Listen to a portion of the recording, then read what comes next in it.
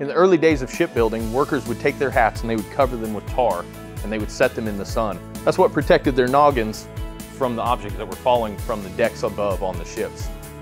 Nowadays, you can leave the tar at home. You can set it aside. Uh, today's hard hats are comfortable, they're easy to wear, and they're safe.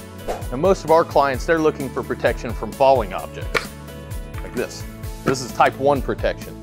Now, if you're also looking for impact from the side, like say a guy at the driving range or maybe a Major League Baseball player, go Royals, then you're gonna want some type 2 protection.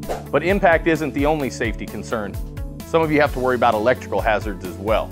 And the most protective hard hat on the market for that is Class E. That's what I'm wearing now. It's rated up to 20,000 volts. If you were to touch an electrical terminal, you would be totally protected. However, I would highly recommend not doing that.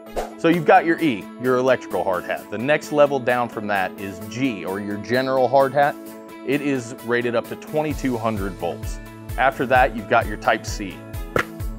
Now Type C, I highly recommend because it is vented. It can be vented. It does not have any conductive protection though. However, in Florida, at the end of October, like it is now, when you're sweating, these are a much better choice.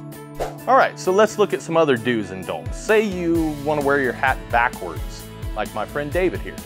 So if you wanna flip it around, perfectly fine, as long as your hard hat has this little symbol right here that looks like they want you to recycle it. It's not what it means. It means that you can take this suspension out, flip it around, and wear it backwards if that's your style.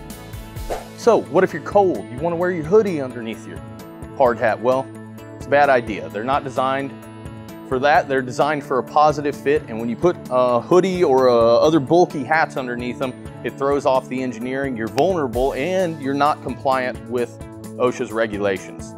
So, if you're cold, we've got plenty of other solutions to help you with that. So, how long can a hard hat stay in service?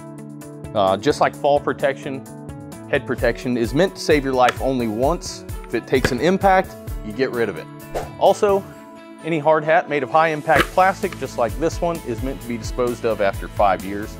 If you're not sure when your hard hat was manufactured, you can find it right here. The year is printed on it, and there's an arrow that pointed to the date that it was made. So if your hard hat doesn't have that, probably don't want to trust your melon to it.